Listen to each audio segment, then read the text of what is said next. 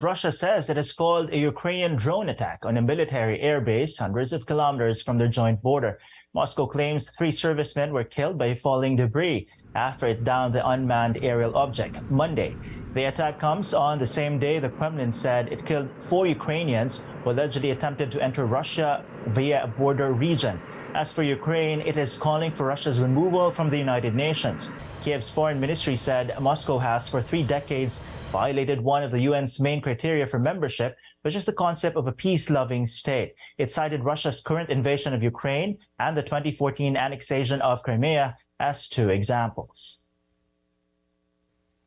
Mobile users in the Philippines required to register their SIM card starting today, Tuesday.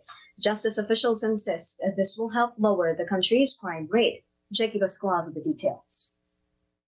SIM registration officially begins Tuesday with over 150 million SIM users expected to register in the next four months.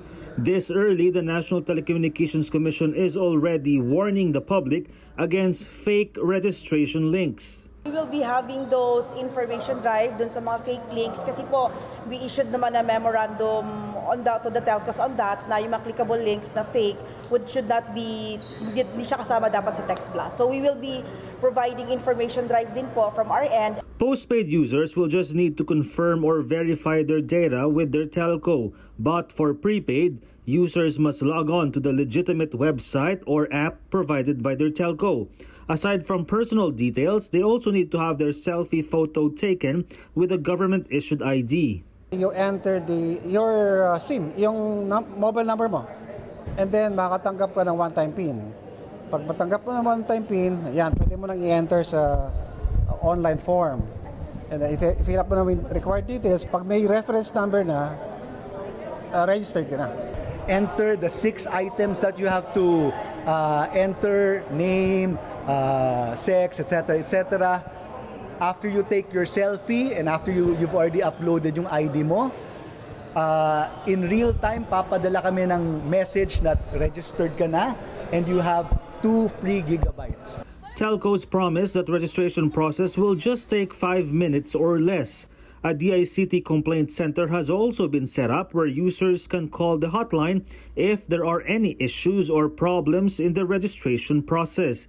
DICT also warns the public not to give fake identification or personal information because there will be another round of oh, verification process in the coming months. After the initial registration process, we will conduct a post-verification process, meaning just to confirm the identity, we require yung mga IDs na dapat mag-match yung selfies nila doon sa uh, sa picture nila po doon sa ID.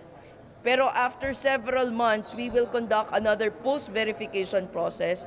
This one will be tied to the national ID system. The Justice Department asserts SIM registration will help lower crime rate as many criminal activities may be prevented. Yung prepaid, ginagamit nila sa, sa child pornography. Ginagamit nila sa kidnap for ransom. Ginagamit nila sa blackmail. Ginagamit nila sa extortion. So, at least mababawasan na.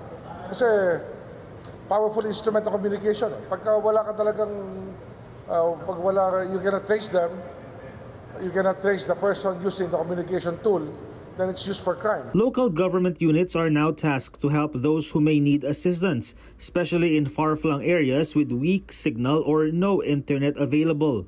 Napakahalaga ho kasi ng papel ng LGU sa pagsisigurado na yung impormasyon ay aabot po sa grassroots, lalo na sa remote areas. So magkakaroon po tayo ng establishment ng registration facilities para sa mga komunidad na nasa remote areas. Senator Grace Poe, one of the authors of the SIM registration law, meanwhile calls on telcos to make the registration process convenient and secure, especially for persons with disabilities and senior citizens. Senator Sherwin Gatchalian also urges the public to remain vigilant against cybercrime, even if SIMs are already registered. Jackie Pascual, ABS-CBN News.